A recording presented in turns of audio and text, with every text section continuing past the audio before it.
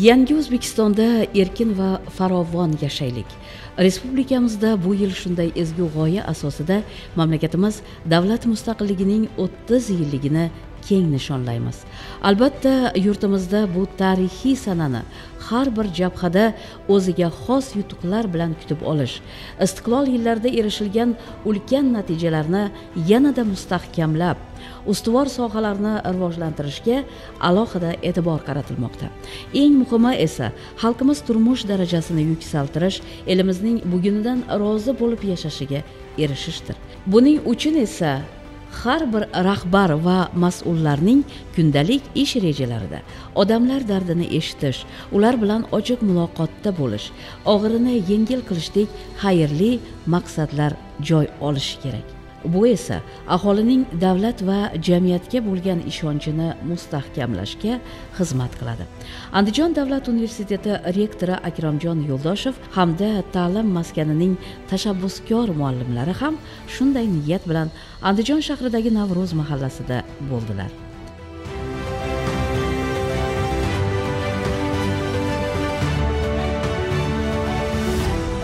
Mamlakatimiz rahbari o'zbekiston respublikasi oliy majlisi va xalqimizga yo'llagan murojaatnomasida har qanday jamiyat taraqqiyotida uning kelajagini ta'minlaydigan yosh avlodning sog'lom va barkamol bo'lib voyaga yetishi hal qiluvchi o'rin tutadi. Shu sababli biz islohotlarimiz ko'lami va samarasini yanada oshirishda har tomonlama yetuk zamonaviy bilim va hunarlarni puxta egallagan azmu shijoatli tashabbuskor yoshlarimizga tayanamiz. Biz o'z oldimizga mamlakatimizda uchinchi renessans poydevorini barpo etishdek ulug' maqsadni qo'ygan ekanmiz. Buning uchun yangi xorazmiylar beruniylar ibn sinolar ulug'beklar navoiy va boburlarni tarbiyalab beradigan muhit va sharoitlarni yaratishimiz kerak. Bunda avvalo ta'lim va tarbiyani rivojlantirish sog'lom turmush tarzini qaror toptirish ilm fan va innovatsiyalarni taraqqiy ettirish milliy g'oyamizning asosiy ustunlari bo'lib xizmat qilishi lozim deya ta'kidlar ekan. Bu maqsad yo'lida yoshlarimiz o'z oldiga katta marralarni qo'yib ularga erishishlari uchun keng imkoniyatlar yaratish har tomonlama ko'mak berish barchamiz uchun eng ustuvor vazifa bo'lishi zarurligini uqtirdi. Shundagina farzandlarimiz xalqimizning asriy orzu umidlarini ro'yobga chiqaradigan buyuk va qudratli kuchga aylanishini bildirdi. Mamlakatimiz rahbarining bunday haqli va o'rinli fikrlari taklif va tavsiyalariga andijon davlat universitetining pedagog xodimlari ham o'zlarining tashabbuskorligi va tashkilotchiligi bilan javob berishga harakat qilmoqda. Navro'z mahallasida yashovchi aliyorxon salimova ham farzandlarini bir o'zi oq yuvib oq tarayotgan onalardan u ham o'g'il qizlarining orzu istaklari ushalishini baxtiyorlikda hayot kechirishini xohlaydi. Ziyo maskan vakillari salimaxon opa bilan ham chin dildan suhbatlashdi. Yoshlar uchun zarur bo'lgan moddiy va ma'naviy ko'mak uchun shay ekanliklarini aytdilar. Beva ayolman. Farzandim bor. Bitta qizim kelib qolgan. Ikkita nabiram bor. Biri o'n to'rt yashar biri o'n bir yashar. Bularga jicha yordam bo'lish uchun mana davlatimiz tomonidan prezidentimiz tomonidan alloh yo'l ko'rsatibdi rahmat. Menga nabiralarimni shu institut tarafdan yordam berib intilishli borligi uchun menga yordam berishib ular yordam ko'rsatadigan bo'ldi bepul o'qitib beradigan bo'ldi nabiralarim kurslarda. Respublikamizda yangi o'zbekiston maktab ostonasidan ta'lim tarbiya tizimidan boshlanadi degan g'oya asosida keng ko'lamli islohotlar amalga oshirilayotgan ekan. Eng avvalo yosh avlodga bog'cha maktab va oliygohda sifatli ta'lim tarbiya berishni yo'lga qo'yish ular jismoniy va ma'naviy sog'lom vatanparvar insonlar bo'lib ulg'ayishi uchun barcha kuch va imkoniyatlar safarbar etilmoqda. Oliy ta'lim muassasasi vakillari mahallaning sanoat ko'chasida yashovchi barchinoy matkarimova hamda uning farzandlari bilan ham muloqotda bo'lar ekanlar. Hadichaxon va muhammad yusuflarning kelgusi hayotining farovonligiyu ulug' niyatlarning ushalishi uchun yaxshilarning ko'magi zarurligini his etishdi. Nechta farzandlardan? Ikkita. Ikkita? Ha demak opa uka ekanda.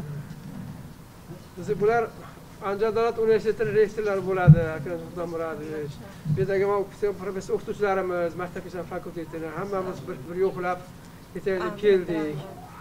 maktabgacha ta'lim fakultetini e, a'zolari mana shu mahallaga sizlarni xonadoninglarga biriktirilgan. Shunga mm, qanaqa yordam kerak bo'lsa ko'rsatishga tayyormiz mana nevaralar bor ekan ular endi mana o'qiyotgan bo'lsa kerak ikkalasi ham maktabga boradi menimcha. Qanaqa fanlarga qanaqa kasbga qiziqadigan bo'lsa yo'naltirishga ham tayyormiz. Tez tez kirib xabar olib turasizlar. Mana bu qizchalarni e, xohishini bilish kerak qiziqishini bilish kerak. Endi o'shanga qarab turib qanaqadir hali kasbga yo'naltiradigan to'garaklarimizga o'quv kurslarimiz bor unga jalb qilishimiz mumkin. Siz nimaga qiziqasiz? Ona tili bilan matematikaga молодец ona tili va adabiyotигada a? muhammad yusuf ekan. Xudo xohlasa e, nima deydi endi? Shu nomga loyiq bir katta haligi obro'li bir inson bo'lib yetishadi xudo xohlasa. Farzandlarni o'zimiz o'qitib beramiz xudo xohlasa. Xudo xohlasa. Xudo xohlasa. Yana alohida kelamiz. Kelib o'tirib yana suhbatlashib bemalol inson manfaatlarini ta'minlash uchun avvalo odamlar bilan xalq bilan muloqot qilish ularning dardu tashvishlari orzu niyatlari hayotiy muammo va ehtiyojlarini yaxshi bilish kerak. Inson manfaatlarini yurt tinchligi jamiyatimizdagi o'zaro hurmat mehr oqibat va hamjihatlik muhitidan ajratgan holda tasavvur etolmaymiz. Universitet olimlari sultonxon aya mansurova bilan suhbatlasha turib shunday sabrli va bardoshli ayollarimiz borligiga tahsinlar aytishdi. Nogiron turmush o'rtog'i va yoshligidanoq qarovga muhtoj qizining parvarishidan nolimagan sultonxon ayaning shukronasidan ibrat oldilar.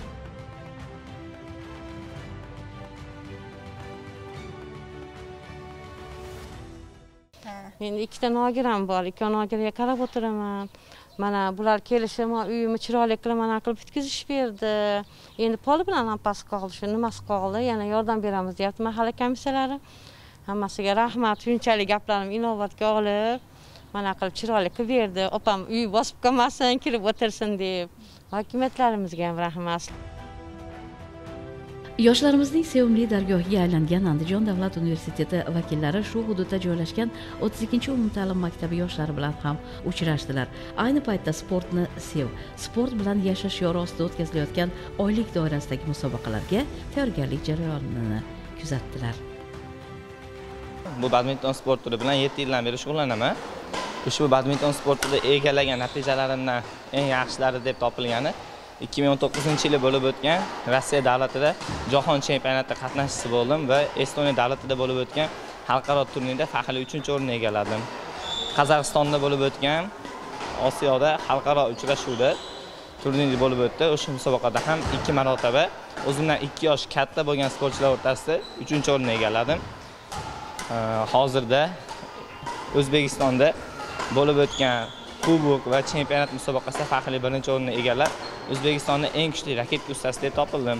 Hozirda ikki ming yigirma to'rtinchi yili bo'lib o'tadigan parijda olimpiadaga tayyorgarliklar olib boryapmiz. Bu yer badminton sport turi bo'yicha imtiyozli ravishda o'qishga oliy o'quv yurtiga muddatdan oldin o'qishga kirdim ular meni bunchalik darajaga yetganimcha ota onamga shu trenerlarimga katta rahmat yoshlarni zamonaviy bilim va tajribalar milliy va umumbashariy qadriyatlar asosida mustaqil va mantiqiy fikrlaydigan ezgu fazilatlar egasi bo'lgan insonlar etib voyaga yetkazish bugungi kunning muhim vazifasidir. O'g'il qizlarni mehnat bozorida talab yuqori bo'lgan zamonaviy kasb hunarlarga o'rgatish ularda tadbirkorlik ko'nikmalari va mehnatsevarlik fazilatlarini shakllantirish hamda tashabbuslarini ro'yobga chiqarish ish va uy joy bilan ta'minlashga alohida ahamiyat qaratilmoqda.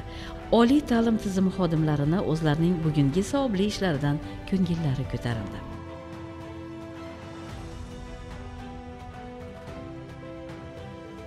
Bizni maktabimizda eskitdan badmintonga qiziqishi bor mahallamizda o'quvchilarimiz bo'sh vaqtlarini mazmunli o'tkazish maqsadida shu badminton yigirma yildan beri faoliyat yuritib boradi. Bir qancha chempionlar yetishtirdik. Kelajagimiz bo'lgan yoshlarni tarbiyalashda sport bilan shug'ullanishda juda katta muhim rol o'ynaydi. Bolalarimiz chempionlarni ko'rib ularni olgan yutuqlariga erishgan yutuqlarini ko'rib qiziqishlari kuchayib hozirda ikki yuzdan ikki yuz yetmish ikkita bolamiz badminton bilan shug'ullanadi mana hozir universitet bilan birga hamkorligimiz bor eskitdan biz o'quvchimiz ikkinchi kurs talabasi bo'ldi universitetda bu bolamiz chempion bo'lgan oliy ta'limga grant asosida kirgan imtihonsiz mana keyingi sharoitlarni mana muhtaram domlamiz yaratib beryapti birgalikda hamkorligimiz davom etyapti o'zimizni talaba shunday bo'libdiki mana e, oliy o'quv yurtlariga e, mahallalar biriktirilgan o'n bitta mahalla bizga ham biriktirilgan. Mana shu mahallada e, o'ttiz ikkinchi maktabda o'qigan o'quvchi ham shu e, paytni o'zida bizni talabamiz yana biz biriktirilgan haligi mahallada bo'lib turibdida. Shuning uchun mm, o'zimiz ham juda xursand bo'ldik e, ko'rib. И oldimizga biz ham vazifa qilib qo'ydikki mana shu sport turini badminton turini xuddi boshqa keng tarqalgan sport turlari qatoriga qo'shilishiga va juda katta e, yutuqlarga erishilishiga universitet mana shu maktab bilan birgalikda hamkorlik qilishni rejalarini tuzib oldik. Bilasizmi oldinlari ham e, ta'lim muassasalari oliy ta'lim muassasalari mahallalar bilan ishlagan lekin mutlaqo boshqacha yo'nalishda bo'lganda muhtaram prezidentimiz e, mana shu narsani juda haligi dolzarbligini bilib oldimizga shunaqa bir topshiriq berdiki har bir oliy ta'lim muassasasi o'zining atrofidagi mahallalari bilan va u yerdagi aholi bilan u yerdagi yoshlar bilan e, juda yaqin haligi munosabatda bo'lishini yaqin hamkorlik e, qilishi zarurligini ko'rsatib o'tdi. Va biz o'sha boshida shu narsa aytilgan paytida uncha his qilmagan edik mana shu narsani. Buni to'g'ri tan olish kerak lekin mana shu mahallalarga kirgandan keyin u yerdagi aholi bilan tanishgandan keyin yoshlar bilan ularni muammosi bilan tanishgandan keyin buni naqadar to'g'ri ekanligini mana hozir o'zimiz ham his qilyapmiz. Chunki Э, bizni domlalarimiz har xil yo'nalishda. Э, o'n bitta fakultetimiz bor qirq beshta yo'nalishimiz bor. Shuning uchun э, prorektorlarni ham dekanlarni ham va har bir kafedrani biz mana shu mahallalarga bo'ldik bo'lib taqsimlab chiqdik. Hozir biriktirilgan har bir mahallada o'zini kafedrasi bor. Kafedrani o'zini mahallasi bor. Va mana shu jarayonda ko'rindiki juda ko'p yoshlar e, haligi qayoqqa borishini bilmasdan nima qilishini bilmasdan vaqtini bekor behudaga o'tkazib qo'yayotganligini guvohi bo'lyapmiz. Va juda ko'p yoshlar haqiqatdan ham hozir yo o'quv kursiga qatnayapti yoki kasbga yo'naltirilgan to'garaklarimizga qatnayapti. Agar kimda kim o'sha universitetimizga borolmaydigan bo'lsa agar biz o'sha mahallani o'zida sharoit qilib o'sha yerda o'ziga o'zimizni mutaxassislarni yuboryapmiz. Va o'ylaymanki bu kelajakda juda katta samara beradi. Beradi hayron qoladigan darajasi nafaqat o'sha bekor yurgan yoshlar hattoki qayerdadir ishlayotgan e, yoshlar ham hattoki yoshi sal kattaroqlar ham qiziqib shu bizni haligi kurslarimizga to'garaklarimizga e, kelishayotganligi. Mana biz hozir yozda e, ikki oy mana shu kanikul paytida biz unumli foydalanib mana shu mahallalardagi ishimizni to'xtatmasdan shu planli har haftalik rejalarimizni tuzib olganmiz. Mana shu yo'l xarita bo'yicha e, hozir ishlarni olib boryapmiz. E, Kafedrani o'zini yo'nalishi alohida bo'lganligi uchun lekin qiziqish har xil bo'ladi yoshlarda mahallada. Shuning uchun biz shunday qilganmizki o'sha to'garaklarni masalan bitta e, kafedra bitta mahallaga biriktirilgani bilan lekin shu yo'nalishda qiziqadiganlar boshqa mahallalarda agar bo'ladigan bo'lsa ularga ham baribir e, domlalarimizni biriktiryapmiz yoki ularni bu yoqqa taklif qilyapmiz. Shuning uchun hozir e, juda keng katta qamrovda hozir ish olib borayotganligini bilishimiz mumkin. O'n bitta mahalla bizga biriktirilgan bo'lsa mana shularda hozir musiqa san'at rasm chizish va har xil tikuvchilik to'quvchilik yoki duradgorlik hunarmandchilik. Bizda bularni hammasi borligi uchun mutaxassislarimiz borligi uchun biz e, yoshlarni shu bilan hozir band qildik. Men o'ylaymanki bu bir yaqin e, kelajakda o'zini juda katta samarasini beradi.